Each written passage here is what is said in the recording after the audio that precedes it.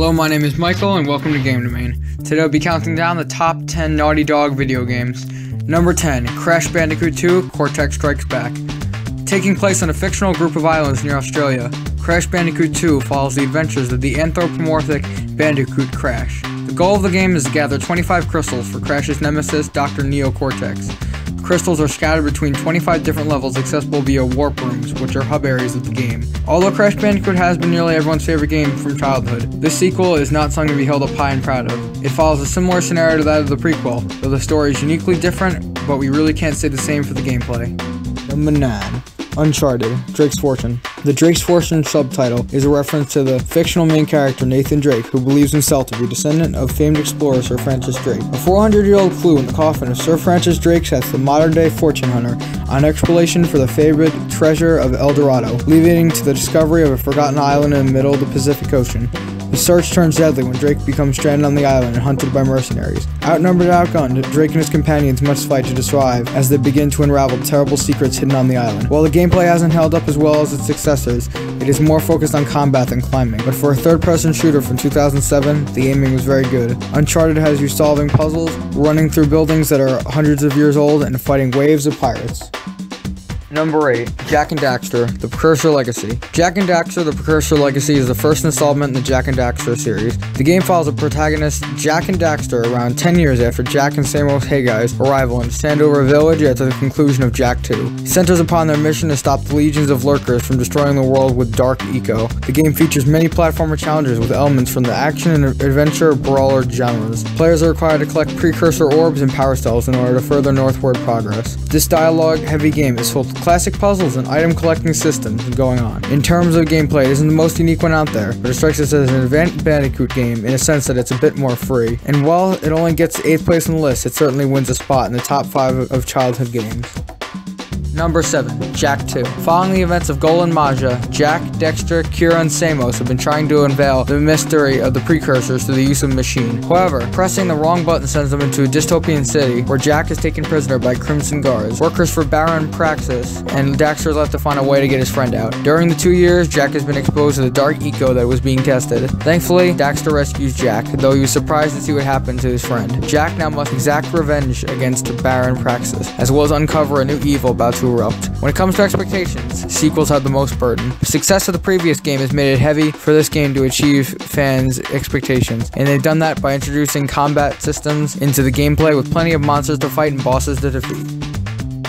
Number 6, Jak 3. Banished, left for dead, but this hero refused to be forgotten. Jak and his faithful companion Daxter exiled to the unforgiving wasteland, where survival of the fittest is the law of the land. But deadly lands and dangerous creatures are only the beginning. Soon the worst nightmare imaginable finds Jak's world, threatening to annihilate all life with external darkness, a darkness Jak knows only too well. Jak's exciting trilogy comes to a close, leading at last to the revelations about the mythical warrior Mar secrets to Jak enigmatic past, and ultimately to the shocking revelations of who the precursors really are. While there isn't much going on with the third game, new things have certainly been introduced, such as a more quiet scene, better graphics and animations, and now they've added a tank driving experience into the game. The atmosphere itself is what adds to the experience. The added difficulty of fighting baddies in a sandstorm was quite the challenge. It certainly is deserving of 6th place.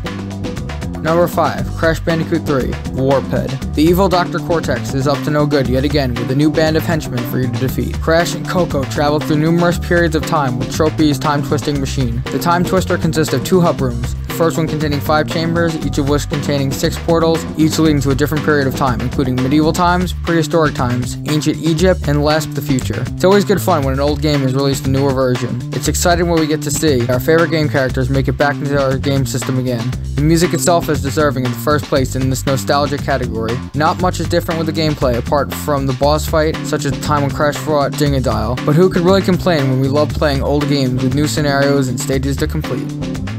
Number 4, Uncharted 3, Drake's Deception. Fortune hunter Nathan Drake is catapulted headlong into an adventure that takes him on a daring trek into the heart of the Arabian desert in a search for the fabled Atlantis of the Sands. This journey pits him and his mentor Victor Sullivan against an organization created by Queen Elizabeth and its ruthless leader. When the terrible secrets of his lost city are unearthed, Drake's quest descends into a desperate bid for survival that strains the limits of his endurance and forces him to confront his deepest fears. While the graphics don't look amazing now, in 2011 on a PS3, it could be argued that Uncharted 3 has the best graphics on the system. We often argue whether it's important or not in a game. While the gameplay and story is much more powerful, we couldn't have helped but admire the amazing graphics. We still can see the remnants of the old-time 3D modeling, but Uncharted 3 has certainly taken it to the next level.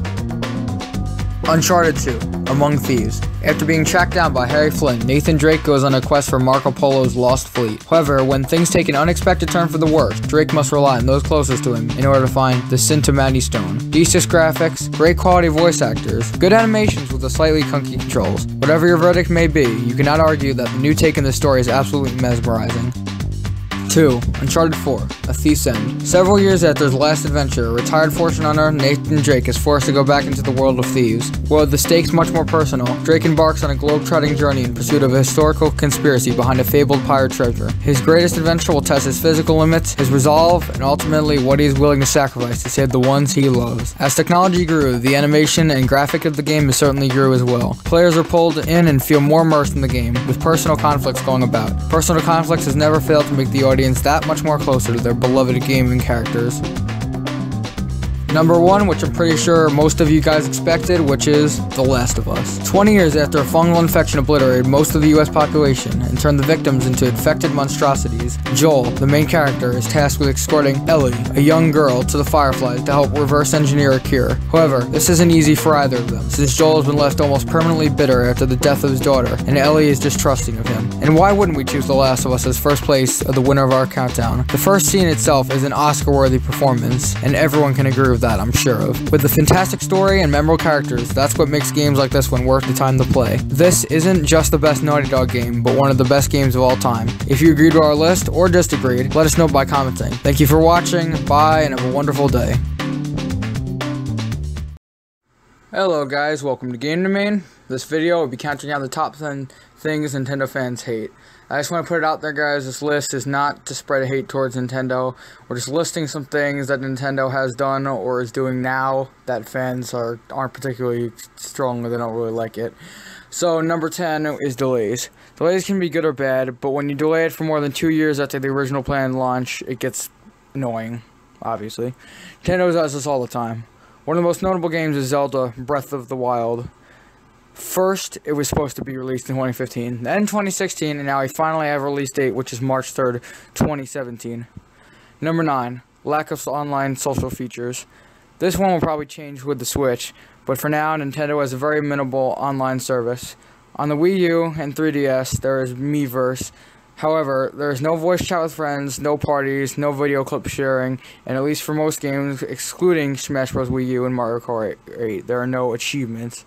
Now, guys, I gotta say that in Nintendo's part, this is very wrong of them. I do hope they improve on this. Is you know, most of the uh, you know we have everything on computer. We have Discord, Skype to communicate, and there's the you know Xbox and PlayStation both have achievements. They both have their own party chat system. So, in my opinion, I really just think it's foolish that Nintendo hasn't done this so far. Number eight, 32 gigabytes on the Wii U. Most games on the 3DS aren't that big to download, and you most likely have a slightly bigger SD card somewhere on hand, probably, you know, probably that you could use with your 3DS. But the Wii U has a lot of games that are fairly large, and while you may have some flash drives, there's a good chance that none of them are larger than 64 gigabytes. If you only want to download games and don't buy want to buy an external storage, you might be able to download two major games now, guys, with most consoles, the Xbox, I'm not quite sure about the PlayStation, but I know for a fact the Xbox, the new Xboxes, are up to a terabyte in storage, and uh, this is another reason why Nintendo is somewhat behind in this, having 32 gigabytes. I mean, most phones. Overwatch is a great game, with many characters to choose from, most are pretty balanced, but there are a few that are just completely overpowered. These points will be based off of the Xbox version of Overwatch. Also, this is just our opinion, so if you disagree, please let us know by commenting. Number 5. Bastion. Now Bastion does have 300 health, and his main weapon is balance, but Bastion can quickly heal himself at any time, very quickly, which is very annoying, especially if he is using his minigun, which can mow down a Roadhog in seconds, unless you're Genji, which will most likely kill you within 2 to 3 seconds of being hit by the minigun. Next is Bastion's ultimate. Before you comment saying how all ultimates are OP, Bastion's is broken. You can kill multiple enemies with one shot, and usually it only takes one shot to kill enemies.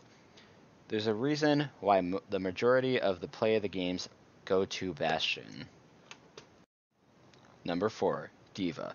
D.Va does not have the most powerful attack. If her health was lower and she had to reload, she would be pretty balanced. However, in addition to her 600 health, once she loses that, she's still alive, second life. D.Va is much faster after she loses that 600 health, or in other words, after she's out of her mech suit. Also, her ultimate is just completely broken. It has a huge range and usually gets triples or even quadruple kills, which makes it pretty much a nuke. Number 3. Widowmaker. Like any first-person shooter game, the sniper can easily get one-hit kills. On PC, when someone is playing as Widowmaker, you know there's going to be some trouble. But on console, it's not that bad. But still, it barely takes any time to get a one-hit kill, and even if someone is too close, sniping won't work, yet your gun can turn into an assault rifle, which also makes it good at medium to uh, close quarters combat, which many other snipers in other FPS games do not have. Number 2, Roadhog. Roadhog is another character with 600 health.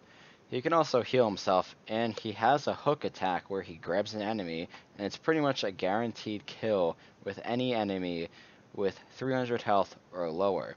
So, right off the bat, Roadhog is a pretty viable choice for any new or inexperienced players.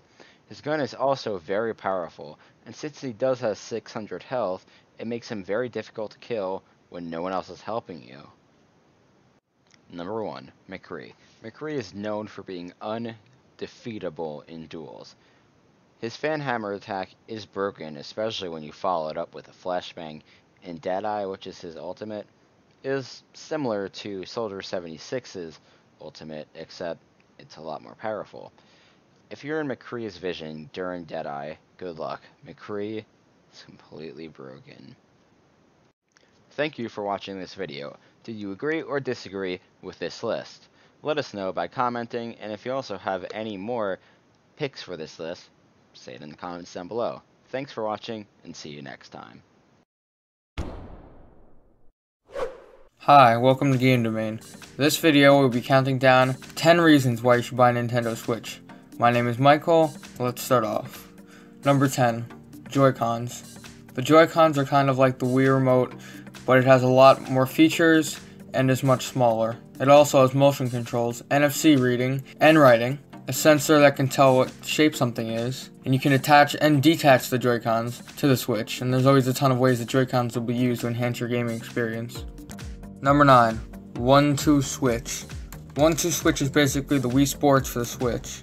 It's a party game where you have to do actions such as pretending to answer a phone or sword fighting, and you have to do the action before the other person. If it is something like sword fighting, then it tracks the motion of the controllers similar to the sword fighting in Wii Sports, which we all know and love. 8. Legend of Zelda Breath of the Wild.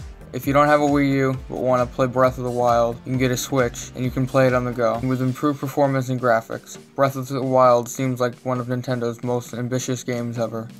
There's a huge open world, realistic physics, over 100 shrines, and so much more. An open world game like that with a better quality is exactly what Nintendo needs to get more people buying the Switch.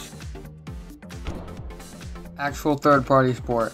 The Switch's third-party support is likely to end soon after the PS5 and the next Xbox come out, but for now it is getting games like Skyrim, Sonic Mania, and Steep, and there are over 80 games in development. Skyrim's a classic, guys. That's going to be a great game if that's on the Switch.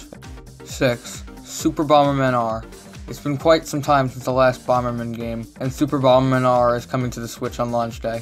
There can be up to 8 players, locally, or online, and this seems like a must-have for any fan of Bomberman or strategy games. It will be locked at 30 FPS unfortunately, which, considering the graphics in the game, doesn't look that good, and it's not a demanding game by any means, as you guys know. 5.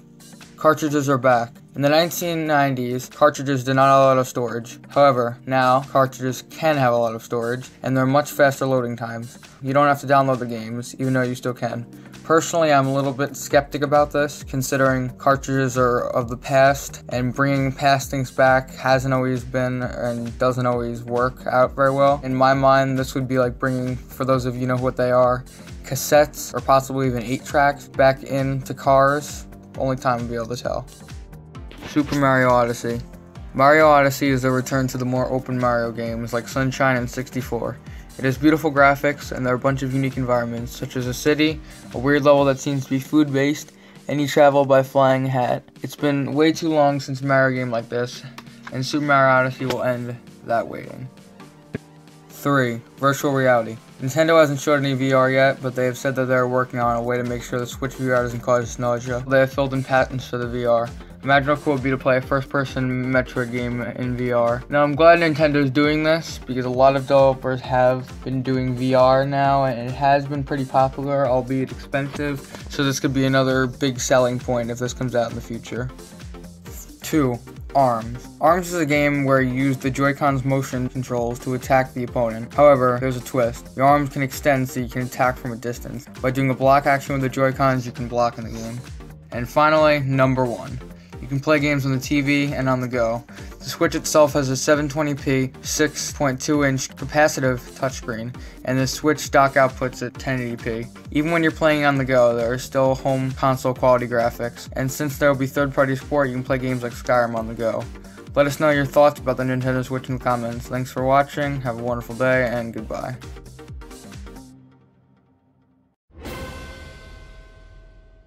This is Jimmy from Game Domain with the top 10 indie games of 2016. 2016 was a fantastic year for independent games. Indie games are usually original, surprising, and carry a lot of gameplay for your dollar. If you usually overlook indie games or think they're all terrible copycat games, here's what you miss in 2016. Superhot. Superhot is one of the reasons that indie games are so great. No one in a major game studio would have thought, hey, let's make bullet time the game, much less let's take bullet time the game and make it even slower. But that's pretty much what Superhot is. Time only moves when you move.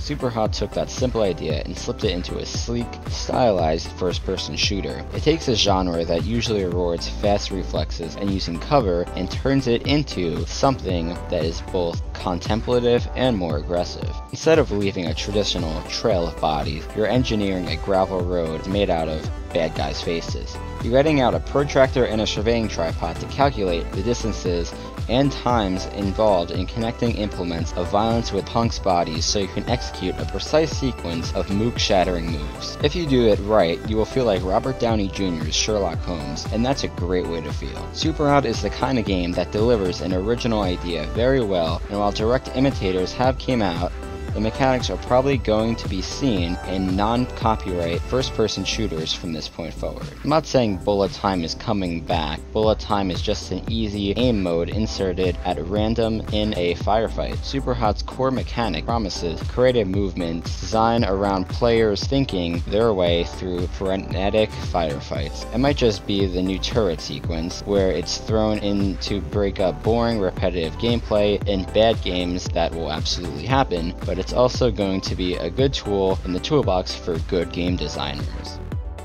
The Westport Independent. The Westport Independent isn't fun in a traditional sense. You run the Westport Independent, a newspaper in an unnamed country where the government is about to seize control of all media. As the editor, you choose which stories you want to tell and which reporters will write them up. You can't report on every story, so the act of choosing which stories you print is inherently editorial. And if you write about government abuses, your reporters and you are at risk from the government. But when you aren't critical of the government, the rebels think you're being too friendly and still in danger. After 12 weeks, the consequences of your actions are shown, and you're either satisfied with that or you're not. You get to see how the lives of your reporters and the Westport Independent turn out. It is a great game, not just a great indie game, because it gets back to the roots of what makes video games great heroism. Nothing is more heroic than going up against an evil, violent, fascist empire armed with nothing but a printing press. Hyperlight Drifter.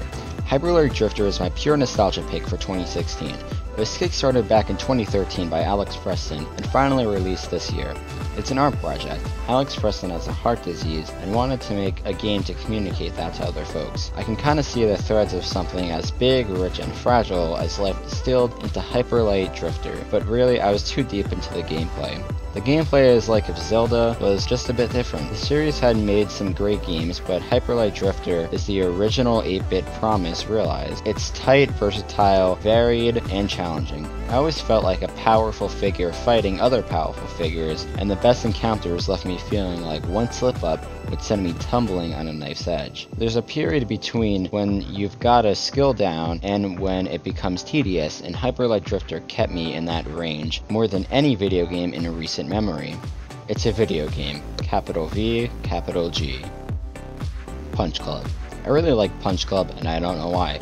I hate grindy role-playing games, and Punch Club is a grindy role-playing game. I loathe 80s references that lack a certain flair, and Punch Club lacks that flair, but I really whipped my little boxer named whatever into shape, and I exercised him and did odd jobs with him, and learned the way of the bear until I almost fell asleep at my keyboard. It's charming almost in spite of itself, with its obvious references and simple characters and the way it undercuts its own dramatic themes. I mean that in a good way. It's unpretentious. Punch Club is a great game and you could get a beer with it, and the payoff for Punch Club's grinding is impressive. Duskers. In Duskers, you have a spaceship, and you dock with derelict spaceships, and send probes on board to explore them with keyboard commands. Your clumsy bots give you limited information and have to plan around dangerous monsters and power outages to salvage everything you can before moving on to the next ship. The most obvious reason to like Duskers is that it acquaints laypersons with basic concepts of computer logic and coding, and that's great. Everyone hates obvious, cloying educational games because they're not really games. They're flashcards with a lot of extra steps. Duskers is actually a good game. It's also a typing teacher. It's been almost 20 years since Typing of the Dead came out, and it's high time another game added to the threat of gruesome bodily dismemberment to the toolbox of people trying to teach junior high students basic computer skills. But aside from any irrelevant interest like increasing computer literacy, Duskers is cool. Every other game in the universe makes hacking into some pipe dream minigame, and it's procedurally generated, and it does not do that thing that other procedurally generated games do, where I'm left feeling like either the game generated enough supplies for me to live on, or it didn't and I'll die while the game is shrugging at me, pointing at the random number generator. But even when I die, I still kind of enjoy seeing all the ways I can misspell Claude A-1 before I'm ripped apart by a space monster. Tharsis. When Earth receives a mysterious signal from Mars, we sent six astronauts on the ship Iktomi to investigate. A series of micrometeor strikes destroys the mission's food supplies, kills two of the crew, and causes a series of cascading failures across the ship. You have to keep the crew alive and the ship functional for 10 weeks until you get to Mars.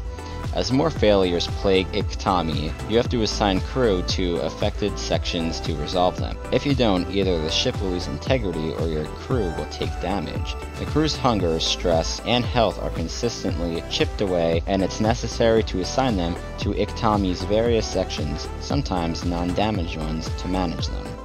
Firewatch. Yeah, Walking Simulator, and Oscar bait Firewatch. The gameplay is that instead of turning the page when you hear the tone, you interact with objects or use your radio to hear the rest of the story. But it's a damn good story, and it's well executed. The stories in most games are either there to support the gameplay, they're tacked on in an attempt to create emotional investment, or they're just non-existent. Games should have whatever story they need to make them work. Doom doesn't need a story about early onset dementia. Firewatch does. It's quiet and contemplative and well placed. The long walks let the player's mind wander within the game to engage with the same intensity as any bullet hell shooter, but in a completely different way. And it couldn't do that if it wasn't beautiful, well written, and well voice acted. Rich Sommer and Cissy Jones both deserve some kind of award for their work here. Everyone involved does. Maybe not Oscar, but something. Stardew Valley.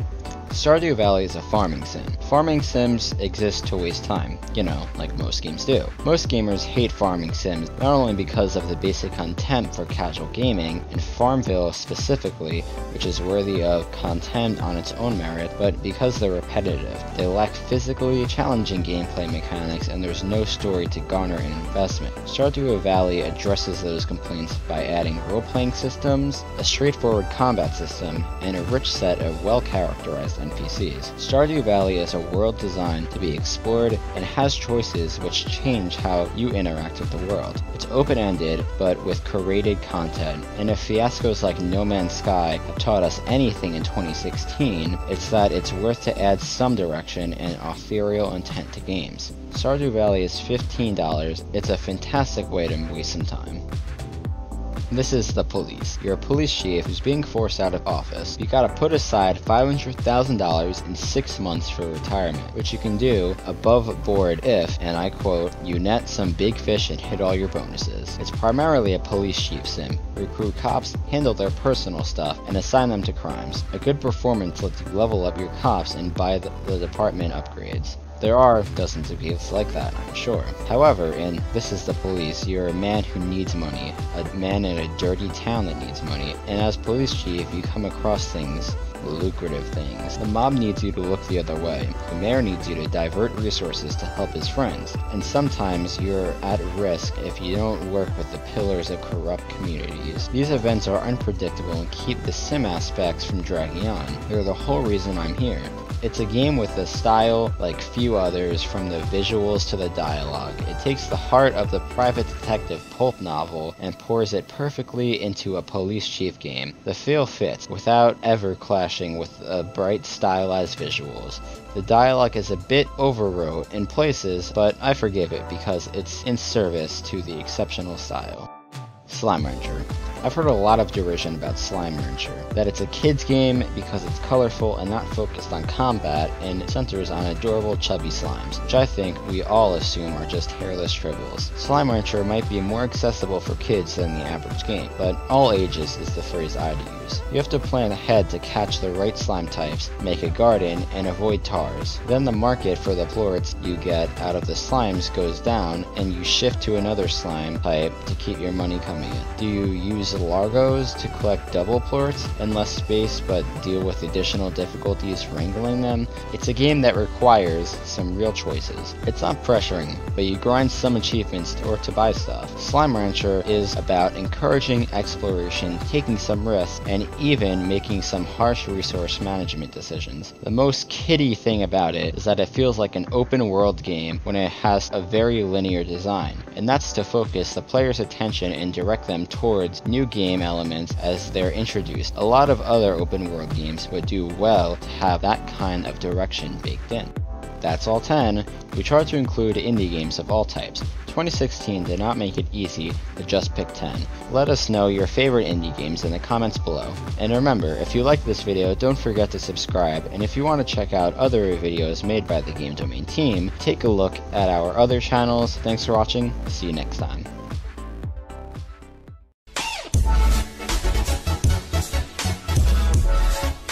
Hi, and welcome to Game Domain. For this video, we will be counting down the top 10 most anticipated exclusive video games of 2017. Please note that exclusives for every platform and games like Zelda Breath of the Wild are still eligible since being released on the Wii U and the Switch, both rated by Nintendo. Same goes for Xbox Play, Anywhere titles. DLC will not be included on this list, so games like Uncharted Lost Legacy are disqualified even though it's standalone DLC. You're most likely going to have a completely different list than us. This list is just our opinion. This list was made a couple weeks ago, so two games on this list were already released. Number 10. Splatoon 2 for Nintendo Switch. Splatoon 2 is a sequel to the popular and quirky third-person shooter on the Wii U. While a lot of the game mechanics stay the same, there are differences. One is that you're in a new location instead of Inkopolis, and that you could roll if you have a certain weapon type. You could play this game with other people without Wi-Fi locally. Number 9. Xenoblade Chronicles 2 for the Nintendo Switch. Even though we have little info about Xenoblade Chronicles 2, if it's anything like its predecessors, it's going to be great, for sure. In the one trailer we've seen, there is an expansive open world, interesting environments, and much more. We don't have a release date yet, but we expect this to release in late 2017. Number 8, God of War.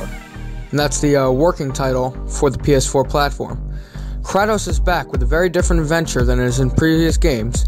Kratos is now a lot older, and accompanying him on his adventure is his son.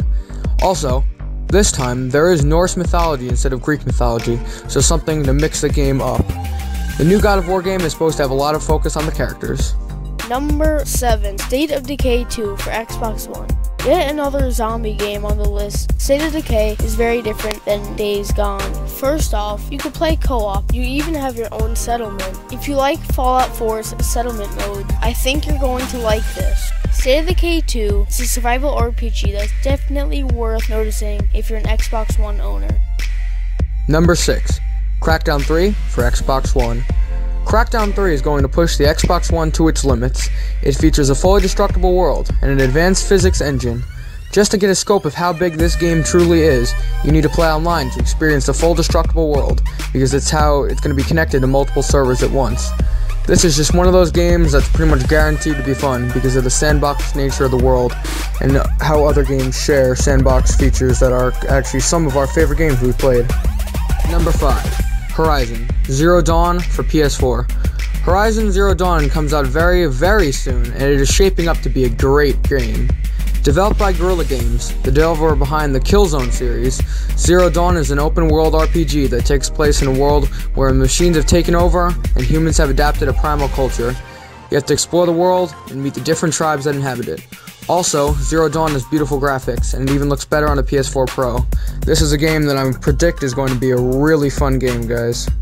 Number 4. Sea of Thieves for Xbox One. Sea of Thieves is basically Pirates the game. In its MMORPG, where you play as, you guessed it, a pirate, what makes Sea of Thieves so interesting is that you collect treasure, build up your ship, and even have your own crew. And it doesn't stop there. If you encounter any other pirates, you can attack them. Your crew can betray you and your ship could be stolen. Number 3. Detroit Become Human for PS4. In Detroit Become Human, you play as multiple androids and you make choices that can heavily affect your experience. The androids can even die if you make choices that lead up to that. During E3 2016, there was a fantastic trailer that showed the many different outcomes of just one event. The graphics and animations are some of the most realistic of all time, especially for console. If you like Heavy Rain or Beyond Two Souls, this is definitely going to be worth picking up. Number 2. Super Mario Odyssey for Nintendo Switch. Before you comment and ask why Mario game is second on the list, hear me out. It's the first open main series Mario game in over 10 years, and there are so many unique environments. There's a modern city, a jungle, and a weird food-based level. Mario has the biggest moveset that he's had in a while, if not ever. Super Mario 3D Land was enough to sell a ton of 3DSs, so imagine how many Nintendo Switches will be sold because of Super Mario Odyssey. Now let's take a look at honorable mentions. Days Gone for PS4. Days Gone is a game where you have to play as a biker as to take down a huge number of zombies to big environments. In fact, there are so many zombies that you'll have to be constantly running and reloading. Number 1. Legend of Zelda Breath of the Wild, which is a Nintendo Switch exclusive. If we counted Xbox One games that will also be released on Windows 10, there will probably be no Xbox game on this list, so it's only fair to count Breath of the Wild as a Nintendo Switch exclusive. What is there to say about Breath of the Wild that has already been said? There's a gigantic open world that has been made better with the ability to climb almost anything. Breath of the Wild has a very realistic physics engine, so much that there's even physics-based puzzle and ways to attack enemies. If you have metal and there's a storm, you could be struck by lightning. We could make an entire video just explaining the gameplay. Let us know what exclusive games you can't wait to play in 2017, because this year is going to be great for games, guys. Do You know that for sure. Thank you for watching, have a great day, and goodbye. Hi and welcome to Game Domain, and for this video I will be going over my collection of 6th to 8th gen home console games. Um, I think it's on, this is for every platform, except for the GameCube, original Xbox, and there might be a PS3 game here. Um, so yeah, that's what that's what it's for, the games. And I do have some GameCube games, but they're not here. Same with the Wii games. I have a lot here, but some are not here. Plus, I have a lot of handheld games also. Um, but as I said, home console games. So let's start off with just some sports games. There's an interesting story behind this, which I'll get to um, in a minute. So here's my 360 games, and a lot of them are sports games. So Fallout 3, NHL, NBA, NHL 12, NHL 10, NHL 13, NHL 9. And the reason I have all these sports games on the 360, and I actually have some more, but not here at the moment, um, is because I went to a game expo and there was someone just giving away free sports games, a vendor, and I decided to just get some. And and that's why I recommend going to game expos if you're into collecting because that's something like that could happen. The one PC game here, Fallout 4. Now my PS2 games, I don't have as many. Metal Gear Solid 2, Madden, NBA Live, Spider-Man for the PS2, Metal Gear Solid 2, Game Grand Theft Auto, Liberty City Stories. I think I think I Metal Gear Solid 3. I don't know where it is though. I'm sure it's here somewhere. Okay, so oh, you know I know what it is. I also have Simpsons Hit and Run, but that's not here. We play Mario Power Tennis, Mario Sports Mix, um, Mario Super Sluggers, and, and, and NHL Slapshot. So a lot of Wii games, a lot of Mario, a lot. Of, I mean, a lot of sports games. A lot of them are Mario games. Some of my favorite sports games of all time: Mario Kart Wii, 2K Sports, Wii Sports Resort, Super Mario All Stars. This was actually the collector's edition. Mario Strikers Charge, Wario Land Shake It, Super Mario Galaxy 2, um, Mario Sonic The London 2012 Olympic Games, my favorite Mario Sonic game, Wipeout 3, and Punch Out. I have some more, like my favorite games of all time, Super Paper Mario and Super Mario Galaxy are not here. I know I, keep saying that, but um, they are at different places. Some of my games are at different places, not in my main collection here. So now some Wii U, PS4, Xbox One, and Switch games. So Elder Scrolls Online, Mario Party 10, Wii Party U, Wii Fit U, Star Fox Guard, Mario Tennis Ultra Smash, Animal Crossing Amiibo Festival, um, Mario Sonic the Olympic Winter Games 2014, Guitar Hero Live, Assassin's Creed. You know, I'm just going to stop reading it. There's so many.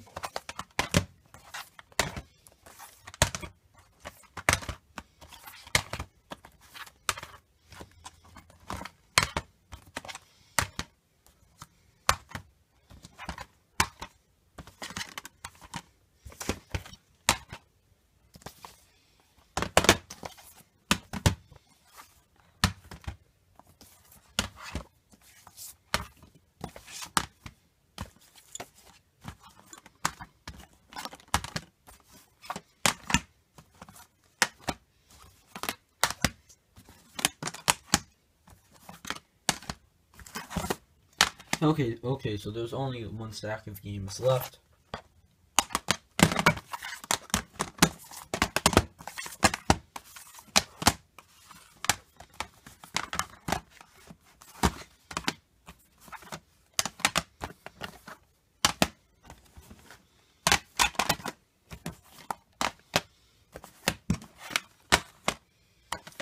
Also, I know there wasn't that many, many games for other platforms besides the Wii and Wii U. That's because um, all the other platforms they got fairly recently, and I don't even have a 360 actually, um, but I do have an Xbox One. And I got the Xbox One, PS4, and PS2 last year, so that's why there wasn't that many games here for. The Wii U I got in 2013, so that's why there is a lot of games. So anyway, let me know your thoughts about this. Um, what is, what is your game collection? How many games do you have and for what platforms? This is just for 6th to 8th gen. Um, I do have a decent amount of NES games, and for handheld consoles, I have, I have a lot also. I don't have an SNES or Nintendo 64. Um, I do have some PS1 games. I do want to get um, some N64 and SNES games um, for my collection. Anyway, thank you for watching. Bye. Hi and welcome to Should You Buy, where we talk about collector's editions for games, consoles, and more before they're released, and give you our opinion on what scenarios you should or should not buy, what we are talking about in the video. Please note we are not reviewing the game or the product. We are just trying to help make the decision easier for people to decide um, pretty early if they want to get it or not, because I know it can be diff difficult to uh, decide if you want to get something, especially for a collector's edition, which can be very expensive. And as, as you saw in the title, in this video, we will be talking about the collector's editions. Editions, not there's not just one. For Mass Effect Andromeda, there are two versions of it, um, so it's not as bad as some other games, but still. So let's start off with the first. Also, something I think that I think is absolutely ridiculous is that neither come with a copy of of the game. Um, but luckily, what is in it is actually pretty cool, and it is a good collectible to have. So anyway, the hundred dollar collector's editions come comes with a 118 scale diecast model of the Nomad ND1 and a steelbook case that's meant to have the game, but it doesn't. It has doors that actually work, and the interior is detailed. There is also an illuminated dashboard. The $200 collector's edition, yes, you heard that right, $200 comes with the same model of the Nomad ND1. However, the Nomad for this can be controlled with a remote, which is your phone. Most people will probably not use it because this is for the hardcore Mass Effect fan who just wants to add it to their to their collection. But of course, there will be people who use it um, not just as a collectible. It has six wheels. It has a front and rear rear steering, steering which means uh, you can drive it forward or backwards, which is pretty cool. A lot of a lot of remote control cars don't have that, and you can actually control the lights along with everything else. And as I said before, you just use your app, uh, the app for it. Um, you download it to your smartphone, and then you can use it as a remote, which I think is good because it does save money. Because then you would have to pay for the remote. I know it would probably wouldn't be separate, but it cost more to make it then. So that so I think that's always a good idea. And something that I think is the most interesting is that it has a camera that will let you record videos, videos and take pictures, and it has a USB charging cable. If you are a casual gamer, I could only recommend this for one reason, and for the 200 one. Uh, so that would only be for a special occasion, occasions such as a birthday or the holidays. That's because it that's because it would be a nice gift gift for younger fans of Mass Effect who may actually use a Nomad ND1 as a toy.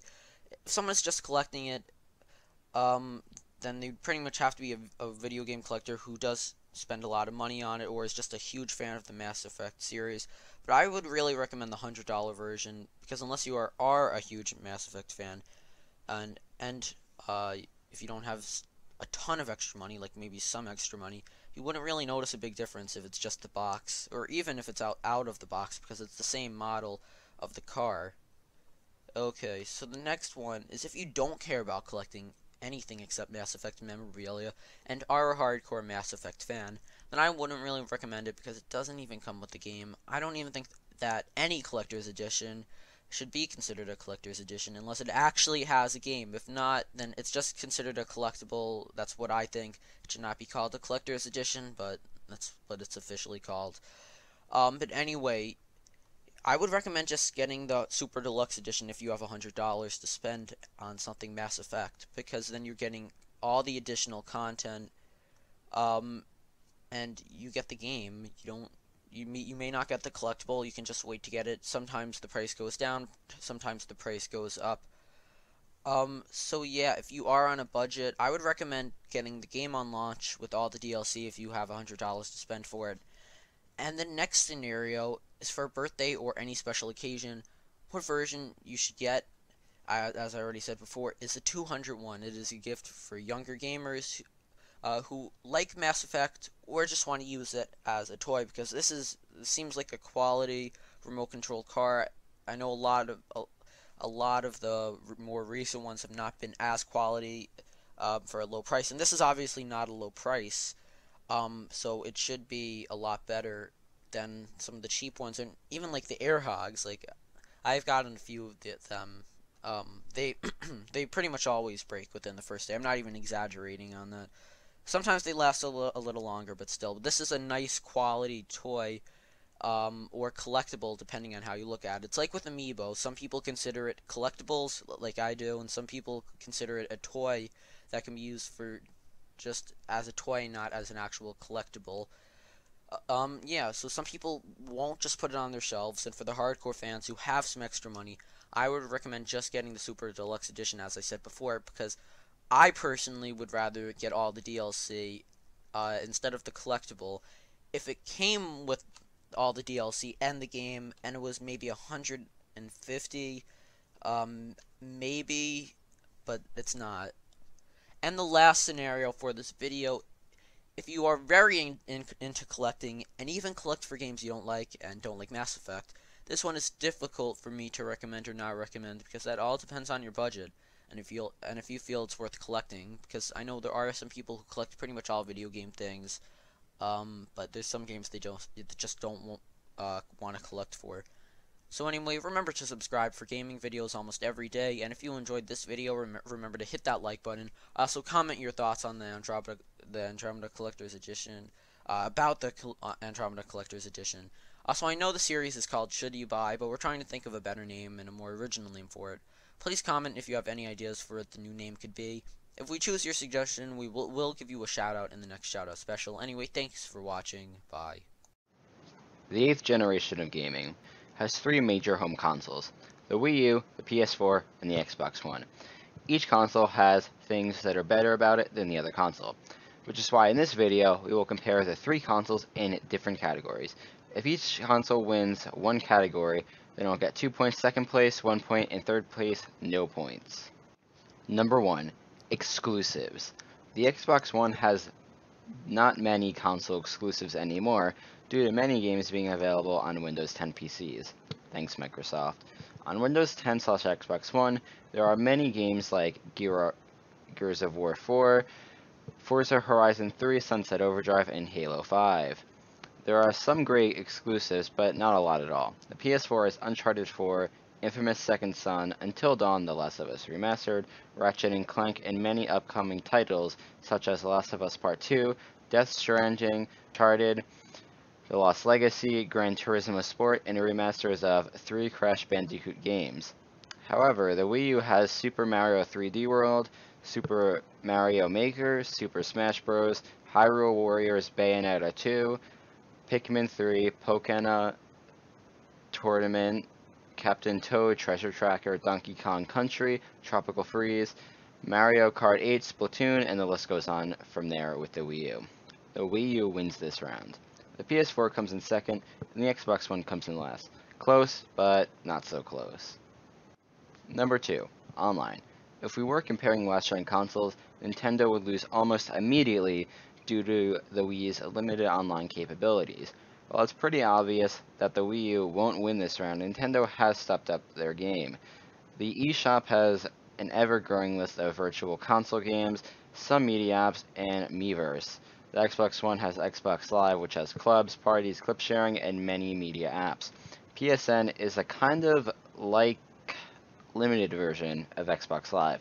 Many features are there, but not really. You still get a lot of media apps and a decent amount of older games, such as PS1 and PS2 games, but it's not the same as Xbox Live.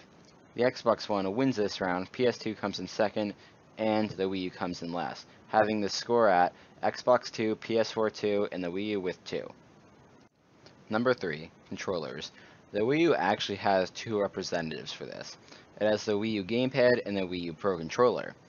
The PS4 has the DualShock 4 and the Xbox One has the Xbox One controller, obviously. First let's talk about the best thing about each controller. The Wii U gamepad has an entire screen for you to use. The Wii U Pro controller is overall a comfortable controller, modern controller. The DualShock 4 is a huge redesign of the DualShock controller. It has a touchpad and motion controls. However, the triggers are pretty small and can be very uncomfortable to use, especially in driving games after about a half an hour. The Xbox One controller is the most comfortable out of the three. It takes what Microsoft did with the Xbox 360 controller, but made it a lot better and it was pretty hard thing to do considering that a lot of gamers love the Xbox 360 controller. The Xbox One comes in first with this round for, with 4, the Wii U comes in second with 3, and the PS4 comes in third with 2 points.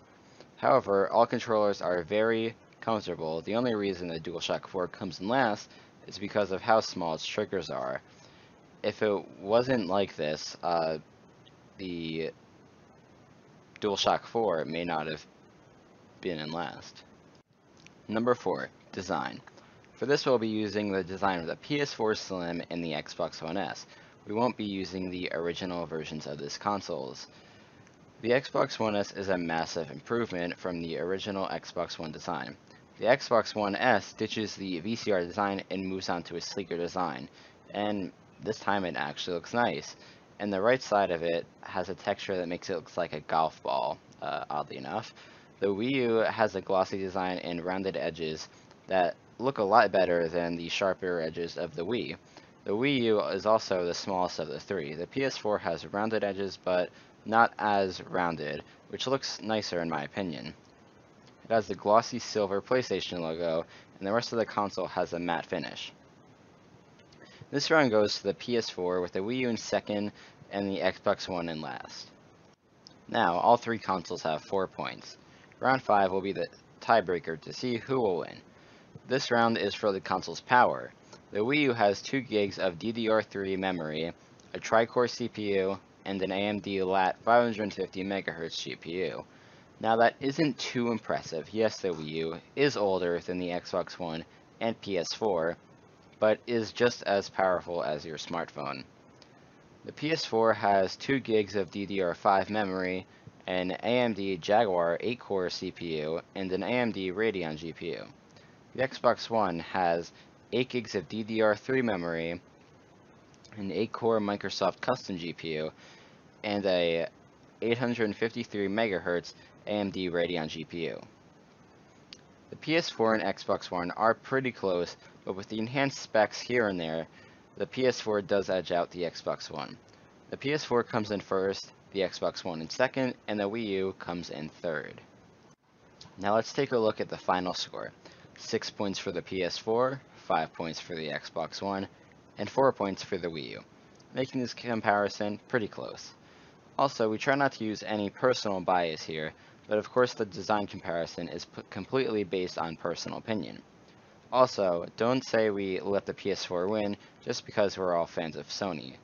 The truth is I own an Xbox One, and all the other Game Domain crew members own the Xbox One, but three of them have it as their second console and the Wii U as their first. Even the crew member who wrote this is a Nintendo fan and actually likes the Wii U better than the PS4 or the Xbox One. Anyway, thank you for watching. If you agree or disagree, please do tell us, and remember to write it that in the comments. See you in the next one.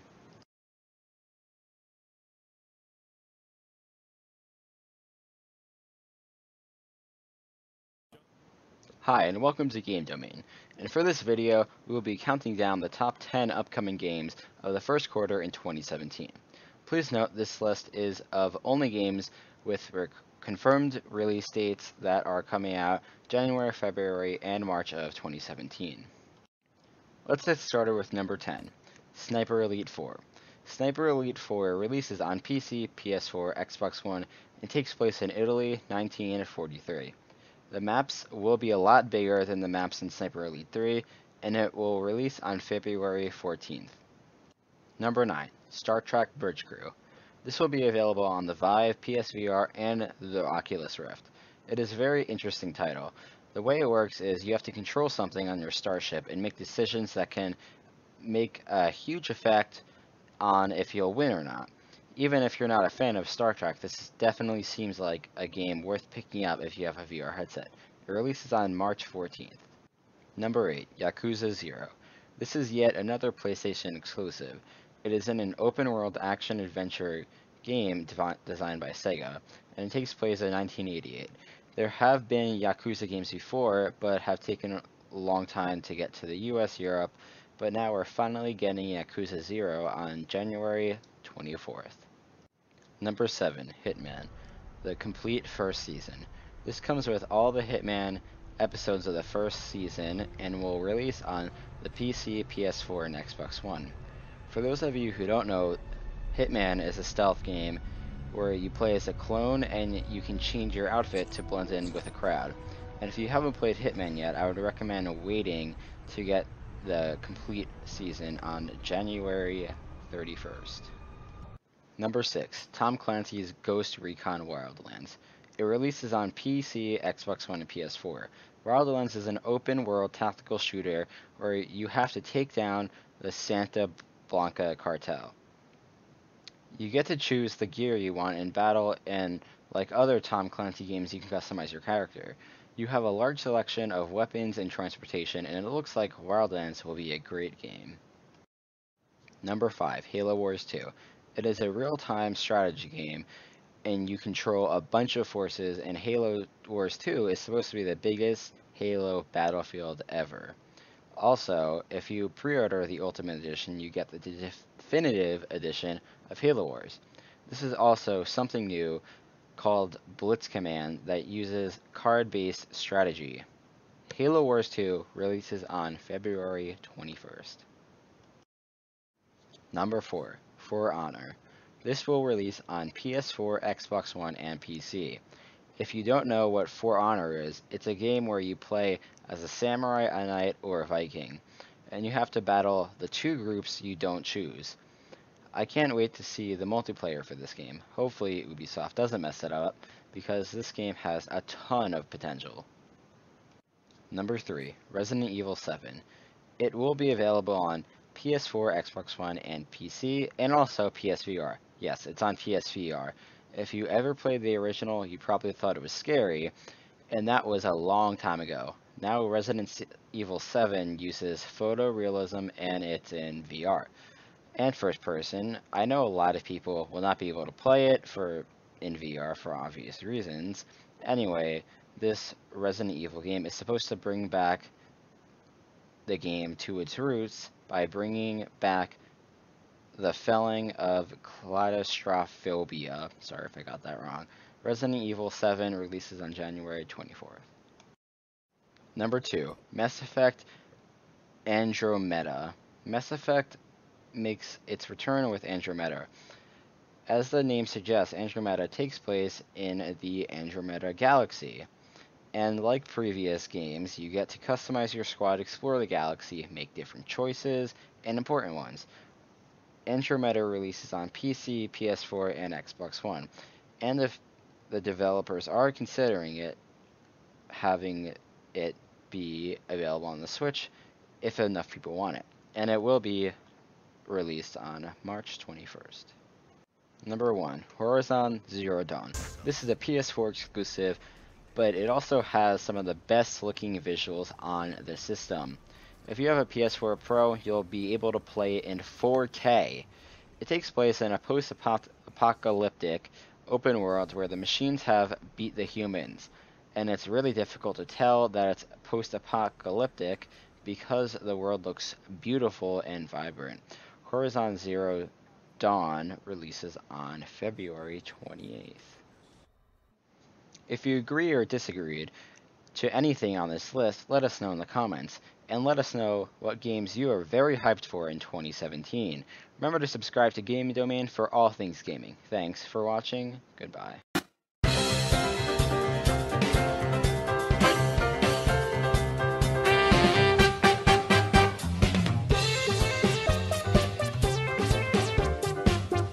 Hi, welcome to Game Domain, and video we were at Nintendo New York about one week after the Switch event. We will be looking at the top four, mostly the consoles. So, Joe, Joe, right here we have NES, uh, and Robin chose that Gyromite. Uh, yeah, wait, which Gyromite? I don't know, like, I know it's a game that Rob uses, and it's like, Yeah. his Power Smash Bros. I, I never, I, I never actually played that. Okay, so there we have the SNES. So it doesn't really have any, it doesn't really have any accessories except the controller. and I have one of these actually. I have an NES on one. And here we have a console I don't think a lot of you have. We have the, the Virtual Boy released in August of 1995. And yeah, the Virtual Boy. Um, now we want to take a look at the screen. It was just a complete failure. Exactly. It was not a good console. Here we have the, Nintendo 64 with Super with Super Mario 64, one of my favorite games of all time. I also have one of these. Okay, now we have the GameCube with Luigi's Mansion. I don't own a GameCube, I do have some GameCube games though uh, for the Wii. Over here we have the Wii with the Wii Remote and Nunchuck and Wii Sports Resort, it looks like. Is that Wii Sports Resort show? Or no, wait, no, it's Wii Sports. And we have the Wii U. The Wii U is almost at the end of the flex stand. And here it is with Nintendo, with Nintendo Land.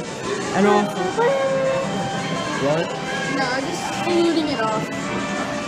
And over here we we have an Arwing exclusive statue, which is three hundred dollars. If you want to get a Switch or an Arwing, you have to, you to make the choice. And we have a Mennonite statue. Now these statues are actually pretty cool, but also pretty pricey.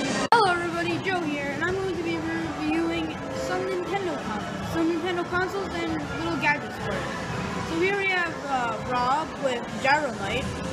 And Gyromite is actually one of the very few games he uses, Rob. Yeah, I think it was only like three games. Yeah. Then we got the Zapper, other kind of stuff. Then we have the weird stuff. We got, A weird zapper. Nintendo Advanced Video System. I don't know what that is. yeah, we got that. And then we have a weird keyboard, Also a Nintendo. track mouse. Yeah, like what's what, it looks like. What's, what's it called again? Uh, a like have a recorder. Yeah, like what a recorder was in the 80s. And we have a QR code reader. What is that? Like a barcode I don't, reader? I don't know. That, loo- that looks like an NES controller, like a weird Yeah. NES controller. The, the NES Advantage, I guess that's another controller. Oh, that's like the. That's weird. It looks like the like a, joystick. yeah. Oh, there's a Nintendo Power. It's cool. I think they counted it. yeah. Okay, the NES Max, NES Four Score, four player module, and remote control module. And here we have some games. The NES cleaning kit. Oh, the NES Classic Edition. Oh yeah, there's look how I've small actually that never is. seen that in person. I've never seen that in person. Yeah, it's extremely small. Yeah, I would real want to get one. Here we have the golden glories of Legend of Zelda. A lot of these games are on. I think all of these games are actually on. I think they did that on purpose. Well, that's it. We conclude the Nintendo consoles and accessories. See ya.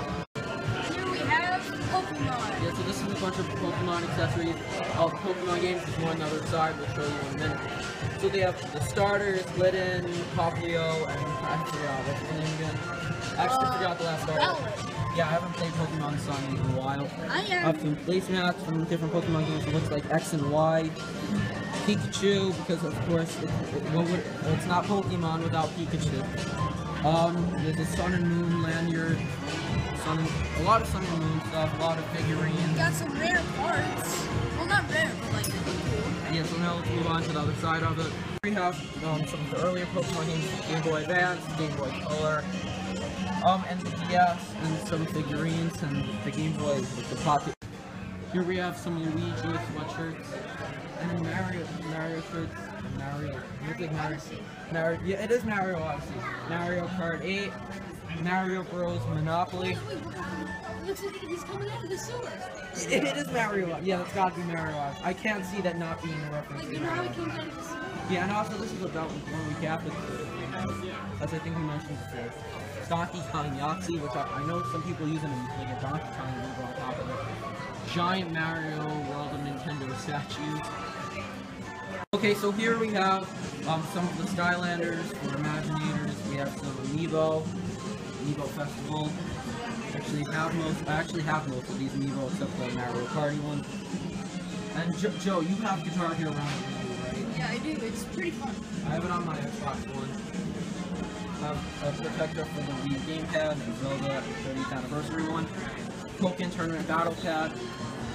Um, a Wii 2 Wii Wii remote for I have one of these. Actually, I have a Wii whole U set. gamepad stand and some Pro controllers. And also the Wii U microphone, which I don't know if anyone actually uses. There's a bunch of Wii U games here, ranging from Mario Party, Captain Treasure Tracker, one of my favorite Wii U games. Um, and a lot of games here. I have most of these games except Lego game, Mighty Number 9, Shantae, and a few other games. Then over here we have a couple more Wii U games, like Lego City Undercover, which will be on the Switch. I'll wait. The Pokemon Go Plus, which I would have gotten a few months ago, but I don't play Pokemon Go anymore. And some download codes, and I like that Nintendo does that. Does this like they have the download code code for it because a lot of people um, prefer to have the actual game, not not a different download. Um, and we have a few other 3DS games here. So which games here do you not have? I don't have a lot of these. I don't have Yokai. I don't have Action Footwear. fashion forward. Um, and there's the game, Sonic Boom Fire and Ice, and also it comes with the TV show. In case you missed the great TV show with Sonic Boom, here it is.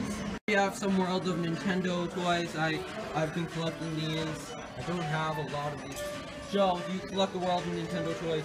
No, I don't. I have some of them. I mean, I actually got one from a Switch event that I went to. That was so fun. I actually don't think I have any of these. I have a lot, but I don't have any of these. I don't know if I'll get any though, because because they aren't exactly that cheap. Um, and there's a lot of them. And also some here, um, more of like That's cool. a yeah, little thing. Fire, yeah, fireman.